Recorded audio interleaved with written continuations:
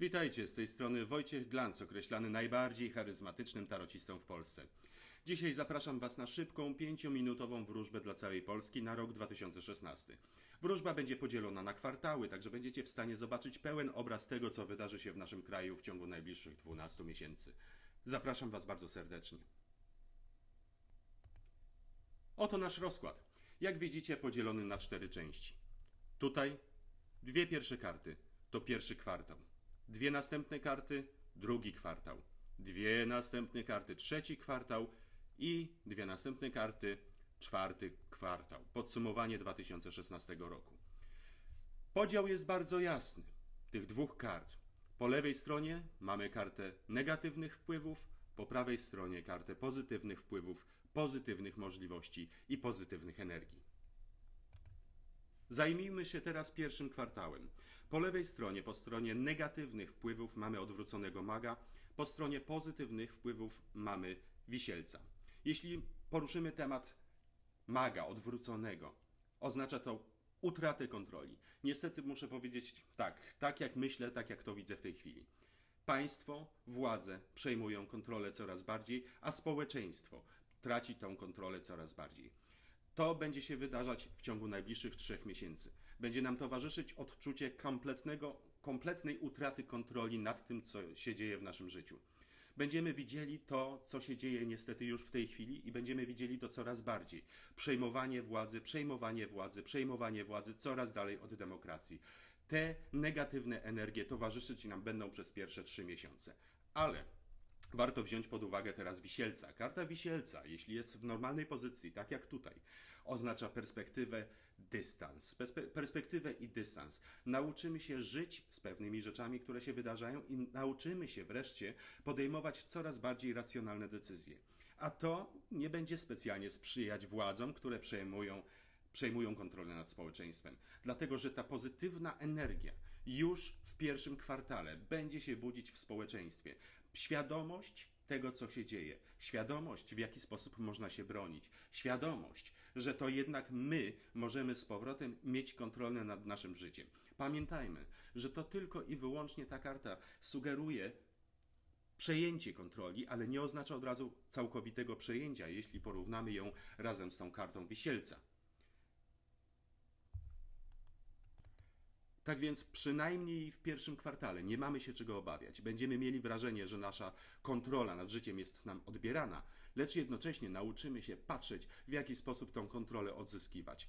Także, drogie władze, uwaga, społeczeństwo powoli się budzi. Już w drugim kwartale nastąpi pewnego rodzaju przełom. Po negatywnej stronie mamy odwrócone 10 kielichów.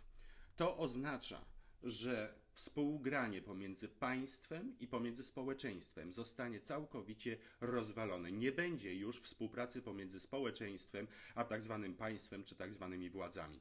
Ten rozdział nastąpi bardzo szybko, bo nastąpi już w drugim kwartale 2016 roku. Czy można powiedzieć, że to są całkowicie negatywne sprawy? Myślę, że nie. To znaczy będzie to źle wyglądało. Natomiast jednak mimo wszystko będzie to rodzaj pewnej rewolucji umysłowej. Państwo kontra społeczeństwo. Jest to jednakże troszeczkę ryzykowne i może wydarzyć się parę bardzo nieprzyjemnych zdarzeń. Myślę, że to mogą być sprawy takie jak demonstracje, e, potyczki uliczne, a nawet coś bardziej, bardziej drastycznego, bliższego rewolucji. Ale no dobra, ja, ja nie chciałbym tutaj mówić o, oczywiście o tym, że za chwilę będzie rewolucja. Po tak zwanej pozytywnej stronie mamy pięć pentakli albo kartę pięciu monet, jak to woli. Co ona oznacza? Ja bym bardzo bezpośrednio odniósł ją do władzy, która istnieje w tej chwili w Polsce. Ta karta oznacza zagubienie, ta karta oznacza utratę, ta karta oznacza po prostu w tej sytuacji dla tego towarzystwa, które próbuje nami rządzić, oznacza, że koryto zostaje odebrane całkowicie i zostaniecie po prostu z gołym nie powiem czym, na ulicy. Tak przynajmniej określiłbym tą kartę w tej sytuacji. Trzeci kwartał wygląda już o wiele, wiele lepiej. Mamy kartę, kartę. Mamy tutaj kartę tak zwanego cesarza, to znaczy przejęcie władzy. Ja bym jednak mimo wszystko powiedział o przejęciu władzy i kontroli społeczeństwa, czyli demokracja wraca. Demokracja wraca. To są sprawy, które się zbliżają, niebezpieczne sprawy dla naszych władz. To społeczeństwo przejmuje kontrolę. Dlaczego jest ta karta po negatywnej stronie? Oczywiście trosze, troszeczkę trudno powiedzieć. Zawsze jest to jakiś rodzaj niepokoju, który będzie się pojawiał. Należy jednak pamiętać, że ta karta jest w normalnej pozycji. Przejęcie kontroli, przejęcie władzy. Z powrotem społeczeństwo znowu zacznie rozkwitać, znowu zacznie brnąć w kierunku demokracji. Tutaj pozytywna strona, odniósłbym tą kartę znowu do władz. Buch, dostaniecie po głowie. Powiem tylko tak szczerze, władze dostaną po głowie od społeczeństwa. To jest to, co się szykuje w najbliższych miesiącach. Jeśli jednak podejdziemy teraz do czwartego, do naszego czwartego kwartału, będzie zamieszanie. Powiem w ten sposób, to są negatywne stro strony. Będzie zamieszanie. Nie wiem dlaczego kojarzy mi się to z takimi sprawami jak rok 81, stan wojenny i tym podobne rzeczy. Będzie poważne zamieszanie. Być może z pogranicza nawet stanu wojennego. Być może z pogranicza potyczek tego typu. Będzie zamieszanie, to są te negatywne strony, które się wydarzają i to się odnosi do nas, to się odnosi również do władz.